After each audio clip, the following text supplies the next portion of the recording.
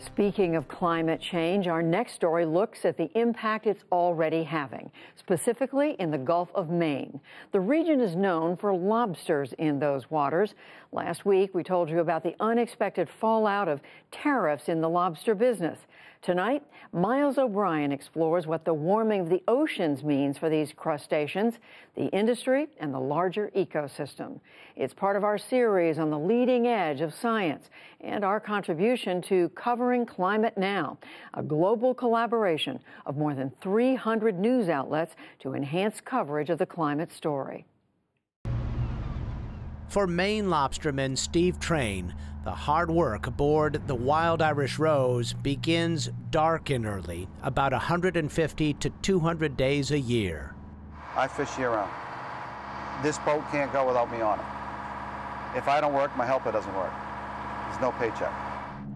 He's been setting his traps about four miles northeast of Portland for 30 years. Fewer competitors here. I just come out and get away from fish over here. You catch a little less, but you're all alone. You didn't have a problem.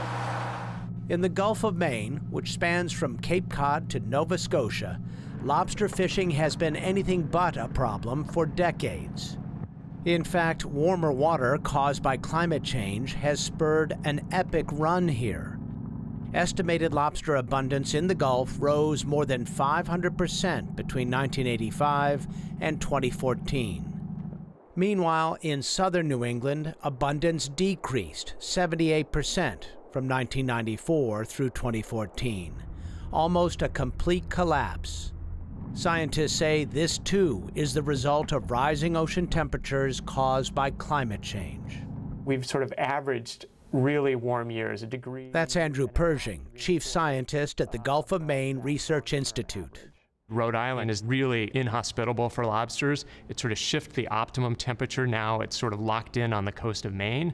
Uh, and, and then Maine with you know really great lobster habitat has, has boomed. So Maine is in the sweet spot, at least for now.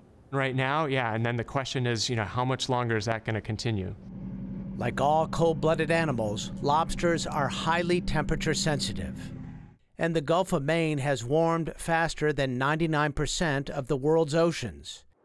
Warmer atmospheric temperatures heat up the water directly, but they also disrupt a crucial ocean current, commonly called the Atlantic Conveyor Belt. It sends warm water north, the Gulf Stream, and cold water south, the Labrador Current. As the glaciers in Greenland melt, more fresh water flows into the North Atlantic, slowing down the Labrador Current, allowing more warm water into the Gulf. And that is why water temperatures here are rising so much faster. So it's a lot like a bathtub where if you turn down the cold tap, turn up the warm tap, you get a really, really hot bath. It's an extraordinary change that's happened really quickly in this region. And so now we're trying to, to watch how the system responds. We're trying to figure out what does it mean for us and how we make decisions about the ocean. Much is at stake.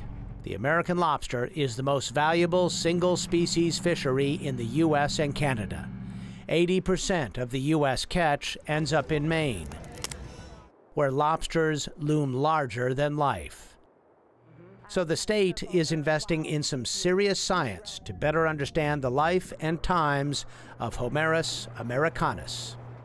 Jess Waller is a lobster research biologist with the Maine Department of Marine Resources there's still questions about how they grow, where they move, how they reproduce, how they find each other in the environment. We're still working on a lot of that. But that's why it makes it an amazing thing to study, is because there's really endless questions.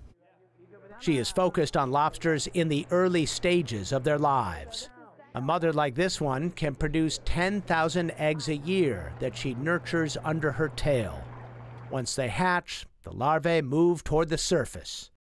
Finding them in the wild is like looking for a needle in a haystack. So even though a mom can produce 10,000 yeah. of these guys, sure. Still hard to find them. Still hard to find them. The currents take them everywhere. Uh, once they're able to swim, they're really looking for the perfect environmental conditions which to grow and settle to become those juveniles. So there's just a million factors that dictate where they go and how likely we are to find them on a given day. Only about one in 10,000 will live long enough to reach harvestable size and possibly your dinner table. The diet of an adult lobster is no secret. Lobsters are carnivores. They feed really on other animals and they're horribly cannibalistic. So they eat also their brothers and sisters pretty regularly. But David Fields is more interested in what lobsters eat when they are tiny. He is a senior research scientist at the Bigelow Laboratory for Ocean Sciences.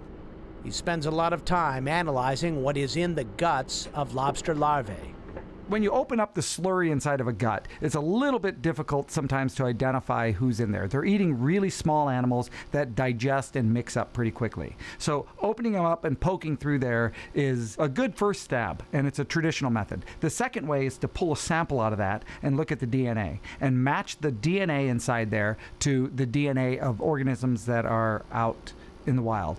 A prime suspect in this hunt is a tiny crustacean called Calanus finmarchicus. They are a key link in the food chain in cold water ecosystems, a staple from everything from herring to endangered right whales. Calanus are also very sensitive to rising temperatures. That might explain the mystery that fisheries ecologist and zoologist Rick Wahle is trying to sort through. He leads the University of Maine's annual lobster settlement survey. In recent years, he and his team have found many fewer juvenile lobsters on the seafloor.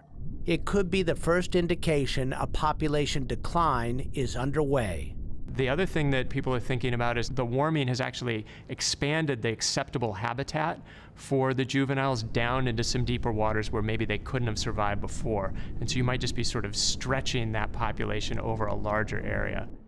Researchers hope all their efforts will result in better models that can lead to improved fishery management. As it is, Maine lobstermen are extraordinarily good at self policing their industry. They toss back the small ones and the big ones. Females with eggs get special treatment. Their tails are notched, marking them as off limits.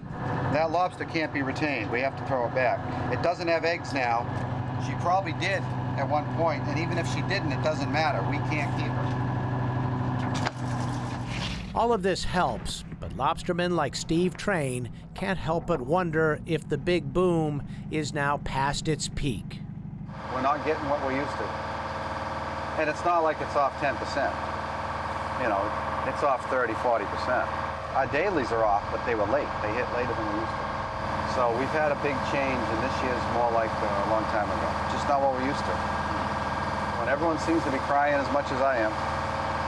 For now, the models predict over the next 30 years in the Gulf of Maine, there will be a steady decline of lobsters to pre-boom levels.